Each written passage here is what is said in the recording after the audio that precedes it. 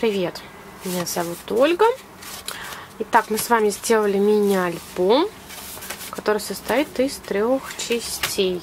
Давайте я вам покажу, как у меня получилось. Значит, это у нас такая раскрывашечка, раскладушечка. Здесь у нас с вами кармашек, в котором у нас есть, так, фокус, два тега. Два тега, раз и два тега.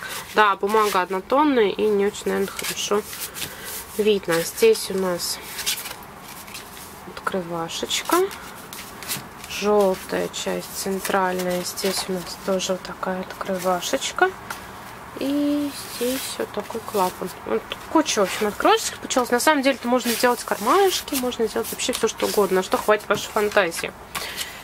Здесь вот так. Очень мне нравится формат вот таких длинных полосочек, потому что очень хорошая идея сделать именно фотографии в виде фотопленки.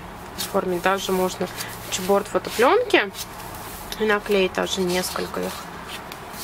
Очень удобно. И здесь мой водопад, как я его называю, скрытый водопад.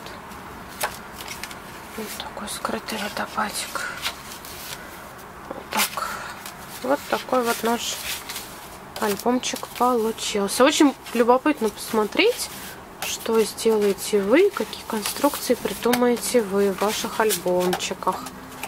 Спасибо за внимание. Всем пока.